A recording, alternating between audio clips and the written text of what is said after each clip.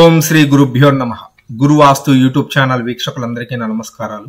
ఈరోజు మన టాపిక్స్ వచ్చేసి వాస్తుపరమైనటువంటి సహాయానికి సంబంధించి మీరు అడిగేటువంటి వాటికి సంబంధించి అదేవిధంగా ప్లానింగ్స్కి సంబంధించి వాస్తు పుస్తకాలలో ఉండేటువంటి ప్లానింగ్స్ని పాటించవచ్చా? అదేవిధంగా యూట్యూబుల్లో వాస్తు సంబంధించినటువంటి యూట్యూబ్ ఛానల్స్ ఉంటూ ఉంటాయి. స్ట్రక్చరల్గా కన్స్ట్రక్షన్కి సంబంధించి వాస్తు పేరు పెట్టుకొని కొంతమంది చెప్తూ ఉంటుంటారు. ఇటువంటి వాళ్ళు ఇచ్చేటువంటి ప్లాన్లను మనం పాటించవచ్చా అనేటువంటి అంశాలకు సంబంధించి ఈ రోజు మన ఈ వీడియోలో తెలుసుకునేటువంటి ప్రయత్నం చేద్దాము. ముందుగా నా పేరు దుర్గా సాయినాథ్ మీకు గల ఎటువంటి వాస్తుపరమైనటువంటి సందేహాల కొరకైనా సరే ఈ స్క్రీన్ మీద కనిపిస్తున్నటువంటి నెంబర్కి కాల్ కానీ వాట్సాప్ కానీ చేసి మీకు గల వాస్తుపరమైనటువంటి సందేహాలకు సంబంధించి సజెషన్స్ తీసుకోగలరు. అదేవిధంగా నూతన గృహ నిర్మాణాల ప్లాన్ల కొరకు కూడాను సంప్రదించగలరు. మా వీడియోస్ మీకు నచ్చినట్లయితే లైక్ చేయండి షేర్ చేయండి సబ్స్క్రైబ్ చేసుకోండి. మీ ఫ్రెండ్స్ అండ్ ఫ్యామిలీ మెంబర్స్కి సజెస్ట్ చేయండి. తద్వారా మీతో పాటు వారు కూడా వాస్తుకు సంబంధించినటువంటి సరైన నాలెడ్జ్ తెలుసుకోవడానికి అవకాశం ఉంటుంది. టాపిక్లోకి వెళ్ళిపోతే వాస్తుపరమైనటువంటి సహాయానికి సంబంధించి చాలామంది ఫోన్లు చేసి లేదంటే వాట్సాప్లో ఏం చేస్తుంటారంటే సార్ మాకు ఒక ప్లాన్ కావాలండి హెల్ప్ చేయండి. అదేవిధంగా ఉండేటువంటి ఇల్లు ఉందండి ఆ ఇంటిని చూసి ఏదైనా మార్పులు ఉంటే చెప్పి సహాయం చేయండి. లేదంటే నిర్మాణంలో ఆయం గణితానికి సంబంధించినటువంటి సహాయం చేయండి. కొత్త ఇంటి ప్లాన్ ఇచ్చే విషయానికి సంబంధించి సహాయం చేయండి. ఏదో రెండు గదులు కట్టుకుంటున్నాము అంటే కొద్దిగా ఫీజు తీసుకోకుండా రెండు గదులకు సంబంధించినటువంటి కొలతలు ఇచ్చి సహాయం చేయండి. అదేవిధంగా ఆన్లైన్లో వీడియో వీడియో కాల్ ద్వారా మా ఇల్లు చూసి కొద్దిగా సహాయం చేయండి. ఇలాగ చాలామంది డైలీ నా లై నా దినచర్యలో భాగంగా ఈ ఫోన్స్ ఇవన్నీ చేసే అపాయింట్మెంట్స్ చూసే క్రమంలో తక్కువలో తక్కువ ఒక రోజులో ఒకళ్ళు లేదా ఇద్దరు ఫోన్లు చేయడము లేదంటే వాట్సాప్ చేయడం జరుగుతూ ఉంటుంది. వాట్సాప్ చేసే వాళ్ళు మెసేజ్లు ఒక పది మెసేజ్లు పెడుతుంటారు. సార్ మీ వీడియోలు బాగున్నాయండి ఎక్సలెంట్గా ఉన్నాయండి మీ వీడియోలు చూసాయండి మా స్నేహితులు సజెస్ట్ చేశారండి మాకు పలానా పలానా పొడవ వెడల్పు సైట్ ఉందండి ఈ సైట్కి సంబంధించిన ప్లాన్కి సంబంధించి సహాయం చేయండి అర్జెంట్ అండి please reply sir. Need help ఇట్లాంటి మెసేజ్లు ఇంకా పెట్టేస్తూ ఉంటుంటారు అనమాట సరే వాళ్ళకు సంబంధించినటువంటి రిక్వైర్మెంట్స్కి సంబంధించి నేను చేసేటువంటి వర్క్కు సంబంధించినటువంటి సర్వీస్ ఛార్జెస్ ఈ స్క్రీన్ షాట్ ఏదైతే ఉందో ఇది పంపిగానే ఇంకా మెసేజ్లు ఆగిపోతూ ఉంటాయి. నేను గురువాస్తు ద్వారా చేసే చేసేటువంటి ఈ సర్వీసెస్కు సంబంధించి సహాయం చేయడం కోసం నేను ఇక్కడ లేను. నేను మీ అందరూ ఏ విధంగా అయితే మీ కుటుంబాన్ని మీరు పోషించడానికి వృత్తి వ్యాపారాలు చేసుకుంటూ కష్టపడుతున్నారో నేను కూడా నా కుటుంబాన్ని పోషించడం కోసం నా కుటుంబాన్ని ముందుకు తీసుకువెళ్ళడం కోసం నేను కూడా ఈ వృత్తిని ఎంచుకున్నాను. ఇందులో వచ్చేటువంటి ఇన్కమ్ మాత్రమే నాకు ఆధారం. వేరే ఇంకా సపరేట్ ఇన్కమ్స్ నాకేం లేవు. మా ఫాదర్ కూడాను ఒక టూ ఇయర్స్ బ్యాక్ ఎక్స్పైర్ అయ్యారు. ఆయన గతించడం జరిగింది. అంటే నేను ఒక్కడనే వీటికి సంబంధించి అన్ని మెయింటైన్ చేసుకోవాలి. ఒక నెల ఇన్కము మూడు నెలలు లేదనంటే రెండు నెలలు మెయింటైన్ చేసుకోవాలి. మీ అందరికీ ఒక నెల సంపాదించేటువంటి సంపాదన ఆ నెలలోనే మీకు ఖర్చులు అయిపోతూ ఉంటే మరి నేను ఒక నెల సంపాదించేటువంటి సంపాదన రెండు నెలలు లేదా మూడు నెలలు మెయింటైన్ చేసుకోవాలి. మంచి రోజులు ఉంటాయి అదేవిధంగా ముహూర్తాలు ఉంటాయి. ఆ ముహూర్తాలు ఉన్నటువంటి పరిస్థితుల్లోనే మంచి రోజులు ఉన్నటువంటి పరిస్థితుల్లో వరకే వర్క్ ఉంటుంది. ఆ ముహూర్తాలు ఉన్నటువంటి పదిహేను రోజులు ఇరవై రోజులు లేదంటే ఇరవై ఐదు రోజుల్లో నేను ఎన్ని అపాయింట్మెంట్స్కి వెళ్ళగలను? ఒక్కొక్క అపాయింట్మెంట్ చాలా దూరం ఉంటూ ఉంటుంది. నేను చేసే మాక్సిమం అపాయింట్మెంట్స్ అన్ని కూడా నేనేం లోకల్లో ఒకే రోజులో నాలుగైదు అపాయింట్మెంట్స్ నేనేం చేయటం లేదు.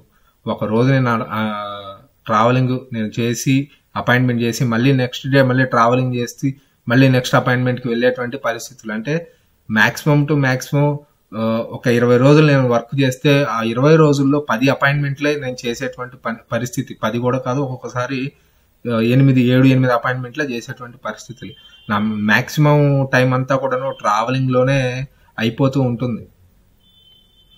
మిగిలినటువంటి సిద్ధాంత్ గారిలో లాగా నేను ఒక రోజు షెడ్యూల్ పెట్టుకుంటే ఆ ఒక్క రోజులో నాలుగైదు అపాయింట్మెంట్లు నేనేం చేయటం లేదు.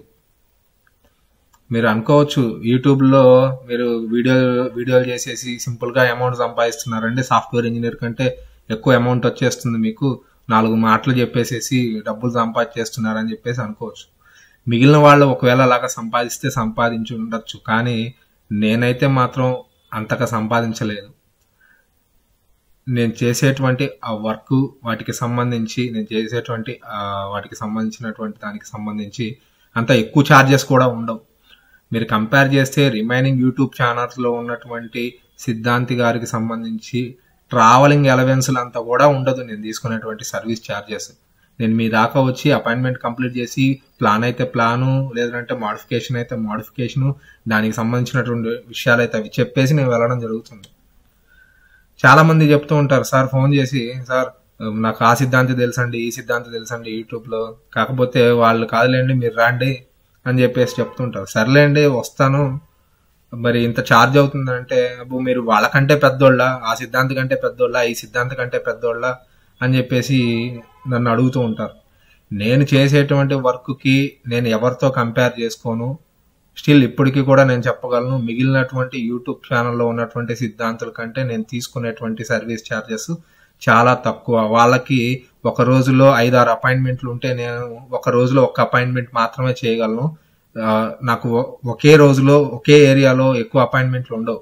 ఆ అపాయింట్మెంట్కి అపాయింట్మెంట్కి నెక్స్ట్ అపాయింట్మెంట్కి డిస్టెన్స్ చాలా ఎక్కువ ఉంటుంది. ఎక్కడెక్కడి నుంచో ఫోన్ చేసినప్పటికీ కూడాను ఆ ప్రాంతం దాకా వెళ్తే ఆ ఏరియాలో ఒక్కటే ఒక అపాయింట్మెంట్ కోసం వెళ్ళాల్సినటువంటి పరిస్థితులు. కాబట్టి ఒక మంచి రోజులు ఉన్నటువంటి ఇరవై రోజులు లేదంటే ఇరవై ఐదు రోజులు ఉన్నటువంటి షెడ్యూల్లో నేను చేసేటువంటి ఒక పది అపాయింట్మెంట్స్కి నేను సంపాదించేటువంటి నలభై వేలో యాభై వేల రూపాయలు నేను రెండు నెలలు మెయింటైన్ చేసుకోవాలి లేదంటే కొన్నిసార్లు మూడు నెలలు మెయింటైన్ చేసుకోవాలి. ఆన్లైన్ అపాయింట్మెంట్స్ కూడా చేస్తూ ఉంటాం. ఆన్లైన్ అపాయింట్మెంట్స్కి మ్యాక్సిమం టు మ్యాక్సిమం జనాలు ఎక్కువ కూడాను ఒక వెయ్యి రూపాయలు పంపించడానికి ఇంట్రెస్టెడ్గా ఉంటారు. లేదంటే ఒక టూ థౌజండ్ పంపించడానికి ఇంట్రెస్టెడ్గా ఉంటారు. కానీ ఈ ప్లాన్స్కి సంబంధించి వీటికి సంబంధించి ఆన్లైన్లో కూడాను కూడా మన దగ్గర తీసుకునే వాళ్ళ యొక్క సంఖ్య తక్కువగానే ఉంటుంది. దాంట్లో కూడా మళ్ళీ కన్సెషన్స్ అడుగుతూ ఉంటుంటారు. సార్ కొద్దిగా నా పరిస్థితి అర్థం చేసుకోండి అని చెప్పేసి మాక్సిమం టు మాక్సిమం రెండు వేల నుంచి మూడు వేల రూపాయలు ఫీజు పే చేసి ఆన్లైన్లో ప్లాన్ తీసుకునే వాళ్ళే ఎక్కువ నా దగ్గర. ఇలాగా నెల మొత్తంలో నేను ట్రావెలింగ్ చేస్తూ ఆన్లైన్లో ప్లాన్లు ఇవ్వాలి అని అంటే కొన్నిసార్లు కుదరకపోవచ్చు. ఆన్లైన్లో నెల మొత్తం మీద ఒక రెండు మూడు ప్లాన్లు ఇస్తే మహా అయితే ఆ- ఆ ఒక పదివేలు వస్తే మిగిలినటువంటి వాటికి సంబంధించి అబ్జర్వ్ చేస్తే నెల మొత్తం నేను కష్టపడ్డా నాకు ఒక యాభై వేలు వచ్చిన ఆ వచ్చినటువంటి యాభై వేలు అరవై వేలు లేదంటే ఎడిషనల్గా వచ్చే అమౌంట్ వీటన్నిటిని ట్రావెలింగ్కి బ్యాలెన్స్ చేసుకుంటూ అదే విధంగా నా అకామిడేషన్స్కి కి బ్యాలెన్స్ చేసుకుంటూ నా ఫ్యామిలీ నడుపుకుంటూ రెండు నెలలు మెయింటైన్ చేసుకోవాలంటే ఇక మీరు అర్థం చేసుకోండి. కాబట్టి ఫీజుల విషయానికి సంబంధించి నేను సాధ్యమైనంత వరకు తక్కువకి చేయడానికే ప్రయత్నిస్తున్నాను. స్టిల్ కొన్నిసార్లు కుదరకపోవచ్చు. కొంతమందికి నేను ఎక్కువ ఛార్జ్ చేసినట్టు అనిపించచ్చు బట్ కాకపోతే నాకు వర్కౌట్ కాకపోతే నేను చేయలేనటువంటి పరిస్థితులు. అవి మీరు ఎవరో అర్థం చేసుకోవట్లేదు. అర్థం చేసుకోకుండా మీరు ఏం పని చేశారండి? ఇక్కడికి వచ్చి ఏం చేశారు? నాలుగు మాటలు చెప్పారు. గంటన్నర టైం స్పెండ్ చేశారు. దీనికైనా మీకు నాలుగు వేలు ఇవ్వాలా అని చెప్పేసి మాట్లాడుతూ ఉంటారు.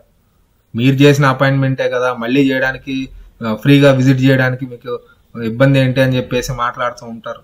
నేను ఒకసారి అపాయింట్మెంట్ చేసినప్పుడు అన్ని విషయాలు మీకు చెప్పాను కదా చెప్పినప్పుడు ఆ విషయాలు మీరు పాటించాలి. మీరు పాటించకుండా వాటిలో మిస్టేక్స్ చేసుకొని మళ్ళీ వచ్చినప్పుడు వాటన్నిటిని కరెక్ట్ చేసినప్పుడు మీరు చేసిన అపాయింట్మెంటే కదండి మీరు ఏం చేశారని చెప్పేసి మాట్లాడడం కూడాను భావ్యం కాదు. కాబట్టి ఇలాంటివన్నీ కూడా చాలా పరిస్థితులు. మీరు ఎలాగైతే వర్క్లో కాంప్లికేషన్స్ ఫేస్ చేస్తూ ఉంటారో నేను కూడా నా వర్క్లో కాంప్లికేషన్స్ ఫేస్ చేస్తూ ఉంటాను ఖచ్చితంగా.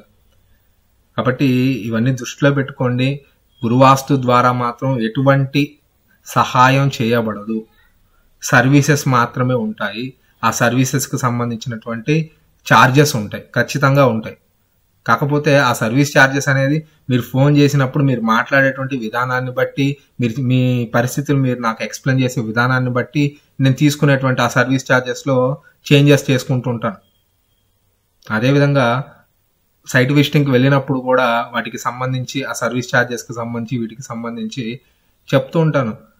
సార్ మీరు ఒక్కళ్ళు కాదండి ఇంకొకళ్ళు అడిషనల్గా మీరు ఎవరైనా యాడ్ అయ్యి ఇద్దరు పిలిపించుకోండి అని చెప్పేసి కూడా ఎంతమందికి చెప్తుంటాను. కానీ వాళ్ళు ఒక్కళ్ళే వాళ్ళని పిలిపించుకుంటుంటారు ఇద్దరు పిలిపించుకున్నారనుకోండి ప్రయాణ ఖర్చుల్ని నేను సగమే తీసుకుంటుంటాను అదేవిధంగా అపాయింట్మెంట్ ఛార్జెస్ కూడాను రెండిటి అపాయింట్మెంట్ ఛార్జెస్ ఒకటిన్నరకే నేను చేయడం జరుగుతుంది. ఇక్కడ మీరు అబ్జర్వ్ చేస్తే మీ ప్రాంతానికి వచ్చి ఇంటి సవరణలు చెప్పడానికి ప్రయాణ ఖర్చులు ప్లస్ నాలుగు వేల నూట పదహారులు ఇక్కడ మెన్షన్ చేశాను. అదే మీరు రెండు అపాయింట్మెంట్స్ మీ ఏరియాలో మీరు నాకు ఇవ్వగలిగితే మీరు మీ ఫ్రెండో లేదంటే మీ షడ్డకులో లేదంటే మీ రిలేషన్లో వాళ్ళు ఇలాగ ఎవరొకళ్ళు ఇద్దరు మీరు పిలిపించుకున్నట్లయితే నేను సిక్స్ థౌజండ్కే మీ పాత హౌస్ ఏదైనా ఉంటుంది వచ్చి చూసి చెప్పడానికి పాసిబుల్ అవుతుంది. మీ ఇద్దరి చెక్ చేసేసుకొని ట్రావెలింగ్ కూడాను మీ దాకా రావడానికి ఒక రెండు వేల రూపాయలు ఖర్చు అయింది అనుకోండి దాంట్లో వెయ్యి రూపాయలే తీసుకుంటాను. ఎందుకనంటే మీకు అంత ఎక్కువ బడ్డెన్ కాకుండా ఉంటుంది. అంటే అప్పుడు మీకు ఆరు వేలు ఒక వెయ్యి రూపాయలు ట్రావెలింగ్ ఏడు వేల రూపాయల్లోనే నేను మీకు రెండు అపాయింట్మెంట్స్ చేయడానికి నాకు పాసిబుల్ అవుతుంది. కానీ మీరు ఒక్కళ్ళే పిలిపించుకున్నారనుకోండి మీ దాకా రావడానికి రెండు వేల రూపాయలు ఖచ్చితంగా ప్రయాణ ఖర్చులు అవుతాయి. అదేవిధంగా నాలుగు వేల రూపాయలు ఖచ్చితంగా తీసుకోవాల్సినటువంటి పరిస్థితులు. ఎందుకు అని అంటే ఒక రోజంతా ట్రావెలింగ్ పడుతుంది. అకామిడేషన్ తీసుకోవాలి ఫుడ్ తీసుకోవాలి. తర్వాత నెక్స్ట్ డే మీ అపాయింట్మెంట్ కంప్లీట్ చేసి మళ్ళీ నేను రిటర్న్ జర్నీలో పాసిబుల్ అవ్వకపోతే మళ్ళీ అకామిడేషన్ తీసుకోవాల్సిన పరిస్థితి ఉంటే అకామిడేషన్ తీసుకొని మళ్ళీ ట్రావెలింగ్ చేయాలి. కాబట్టి ఇవన్నీ కూడా చూసుకోండి. నన్ను కూడా మీరు అర్థం చేసుకోండి. నేను నేను ఏదో ఊరికే ఇవన్నీ చేయటం లేదు కదా. నేను కూడా నాకు కూడా మెయింటెనెన్స్ ఉంటాయి కాబట్టి వీటన్నిటిని అర్థం చేసుకోండి. అర్థం చేసుకొని మీరు నన్ను అర్థం చేసుకొని వీటికి సంబంధించి ఇబ్బంది పెట్టకుండా ఉండడానికి ప్రయత్నం చేయండి. తర్వాత ఆన్లైన్లో ప్లాన్స్కి సంబంధించి పుస్తకాలకు సంబంధించినటువంటి ప్లాన్స్కి సంబంధించి ఇక్కడ మీరు అబ్జర్వ్ చేస్తే ఒక రెండు మూడు ప్లాన్స్. ఈ ప్లాన్ వచ్చేసరికి వాస్తు పుస్తకానికి సంబంధించినటువంటి దాంట్లో ఉన్నటువంటి ప్లాన్. ఇక్కడ ఈ ప్లాన్స్ వచ్చేసరికి యూట్యూబ్లో వేరే ఇతర వాస్తు పేరు పెట్టుకొని చెప్పేటువంటి వీడియోల వాళ్ళకి సంబంధించి ఇచ్చేటువంటి ప్లాన్లు. ఇలాగ ప్లాన్లు ఇంజనీర్లు కావచ్చు లేకపోతే కన్స్ట్రక్షన్కి సంబంధించి సజెషన్స్ ఇచ్చేవాళ్ళు కావచ్చు ఇలాగ చాలా మంది ఈ రోజు రేపు ప్లాన్స్ అనేది ఇస్తూ ఉన్నారు. వాళ్ళకి వాస్తు గురించినటువంటి అవగాహన ఉన్న దాంట్లో ఇస్తున్నారా లేదంటే వాస్తు గురించి అవగాహన లేకపోయినా ప్లాన్లు ఇస్తున్నారా అనేది తర్వాత విషయం. కాకపోతే ప్లాన్స్ అయితే ఇస్తున్నారు. ఆ ప్లాన్స్ మనమే డబ్బులు ఖర్చు పెట్టక్కర్లేదు. కాబట్టి ఆ ప్లాన్లు పాటించవచ్చా ఇక్కడ మీరు అబ్జర్వ్ చేస్తే ఈ నార్త్ ఫేసింగ్కి సంబంధించినటువంటి డూప్లెక్స్ టైప్ ప్లాన్. ఇక్కడ ఆగ్నేయ ఎక్స్టెన్షన్ వచ్చింది కన్స్ట్రక్షన్లో. మీరు ఇప్పుడు ఈ ప్లాన్ పాటించారు అనుకోండి ఆగ్నేయానికి సంబంధించినటువంటి ప్రాబ్లమ్స్ ఆ ప్లాన్ ఇచ్చిన ఆయన ఫేస్ చేయరు కదా. ఇప్పుడు యూట్యూబ్లో వాస్తు పేరు చెప్పుకొని చేసేటువంటి ప్లాన్స్ ఇవన్నీ. బట్ కానీ ఆయన వాస్తు ప్రకారంగా ప్లాన్ ఇస్తున్నా అని చెప్తున్నారు కాబట్టి కట్టుకోవడంలో తప్పు లేదా అని చెప్పేసి మీరు కట్టుకున్నారంటే మీరే ప్రాబ్లం ఫేస్ చేస్తారు. అదేవిధంగా ఇక్కడ కూడా మీరు అబ్జర్వ్ చేస్తే ప్లాన్కి సంబంధించి మెయిన్ డోర్కి ఎదురుగా బాత్రూమ్ వచ్చేసింది. అదేవిధంగా పూజ మంచి లొకేషన్లో రాలేదు. మెట్ల కింద సెప్టిక్ ట్యాంక్ బాత్రూమ్ ఇచ్చారు. ఇవన్నీ కూడా వాస్తు ప్రకారంగా అని చెప్తే మనం ఏమి చేయలేని పరిస్థితులు అన్నమాట. కాబట్టి అది వాళ్ళకి తెలిసినటువంటి వాస్తులో వాళ్ళు ఇచ్చేటువంటి ప్లాన్స్ అవన్నీ. కానీ నిజానికి ఇవి వాస్తు ప్రకారంగా ఉన్నాయా లేదనేటువంటి విషయం కొద్దిగా వాస్తుకు సంబంధించినటువంటి అవగాహన ఎక్కువగా ఉండి మీ మీ పరిధిలో ఉన్నటువంటి వాళ్ళు ఎవరైనా ఉంటే ఒకసారి ప్లాన్లు చూపించండి. వాళ్ళే చెప్తారు. దానికేం ఇబ్బంది లేదు. అదేవిధంగా ఇక్కడ కూడా మీరు అబ్జర్వ్ చేస్తే వాస్తు పుస్తకానికి సంబంధించినటువంటి చివర్లో ఉన్నటువంటి ప్లాన్ ఇక్కడ మీరు అబ్జర్వ్ చేయొచ్చు. ఉత్తరం ఫేసింగ్కి సంబంధించినటువంటి ప్లాన్.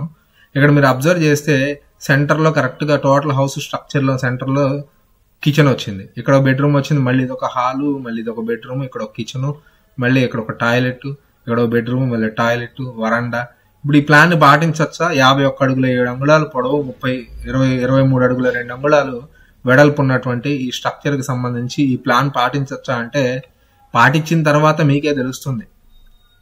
ఎందుకనంటే ఒక పోర్షన్ని రెండు చేశారు చేసిన తర్వాత ఉన్నటువంటి అరేంజ్మెంట్స్ అన్ని కూడాను ఏ విధంగా ఉన్నాయనేటువంటి విషయాన్ని మీరు ఇక్కడ అబ్జర్వ్ చేయండి. వాస్తు పుస్తకంలో ప్లానే ఇది నేను కాదంటం లేదు.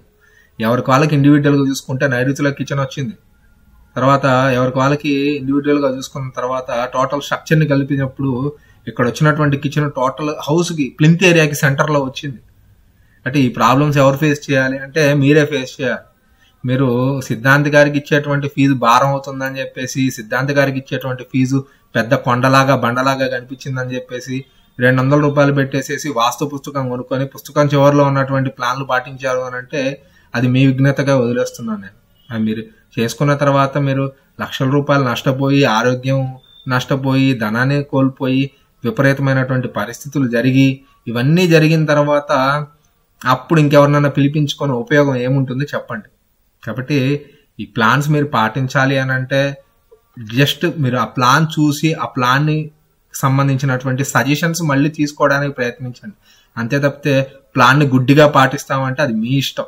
పేరుకి వాస్తు చెప్తున్నాము అని చెప్పేసి ఆ వాస్తుకు సంబంధించినటువంటి ప్లాన్స్ ఇస్తున్నారు అని చెప్పేసి ఆ ప్లాన్స్ పాటిస్తామంటే అది మీ ఇష్టం. ఇదంతా ఎలా ఉంటుందంటే నేను ఎలక్ట్రికల్ బైక్ వాడతాను పర్యావరణాన్ని కాపాడుతాను అని చెప్పేసి చాలా మంది చెప్తూ ఉంటారు. మరి వాళ్ళకి తెలియని విషయం ఏంటంటే ఎవరు గమనించిన విషయం ఏంటంటే ఆ ఎలక్ట్రికల్ బైక్ తయారు చేయడానికి ఎలక్ట్రికల్ బైక్ సంబంధించిన బ్యాటరీ తయారు చేయడానికి ఎన్ని కొండలు దవ్వాలో వాళ్ళకి తెలియదు అదేవిధంగా ఎంత పొల్యూషన్ జరుగుతుందో తెలియదు మరి అదేవిధంగా ప్రపంచం మొత్తం ఆ ఎలక్ట్రికల్ బైకులకు సంబంధించినటువంటి ఆ బ్యాటరీస్ని సప్లై చేయగలిగేటువంటి కెపాసిటీ కూడా ఉండదు. అంటే ఇక్కడ నేను ఎందుకు చెప్తున్నా అంటే వాటికి వీటికి సంబంధం లేకపోయినప్పటికీ కూడా మనం భ్రమలో ఉంటున్నామా అని నేను చెప్పడం అనేది నా ఇక్కడ ఉద్దేశం. అంటే పేరుకి మనం పర్యావరణాన్ని కాపాడుతున్నాం అనేటువంటి భ్రమలో ఎలక్ట్రికల్ బైకులు మనం తీసుకోవాలని మనం అనుకుంటాం. అదేవిధంగా ఇదంతా వాస్తు ప్రకారంగా ఇస్తున్న ప్లాన్లు అని చెప్పేసి మనం ఇంప్లిమెంట్ చేయాలని అనుకుంటే పేరులోనే వాస్తు ఉంటుంది తప్పితే అక్కడ వాస్తు ఉండదు మీరే ప్రాబ్లమ్స్ ఫేస్ చేయాలి. కాబట్టి ఇటు పరిస్థితులన్నింటినీ దృష్టిలో పెట్టుకోండి. మీకు ఏదైనా ఒక ప్లాన్ మీరు ఇంప్లిమెంట్ చేయాలి అని అనుకున్నప్పుడు మీకు ఉన్నటువంటి ఐడియాని మీకు దగ్గరలో ఉన్నటువంటి సిద్ధాంతి గారికి సంబంధించి కన్సల్ట్ చేసి ఆయనతో ఎక్స్ ఆయనకి సంబంధించి ఆ- ఆ ప్లాన్ వాటికి సంబంధించి ఎక్స్ప్లెయిన్ చేసి అది ఆ విధంగా చేసుకోవచ్చా లేదా?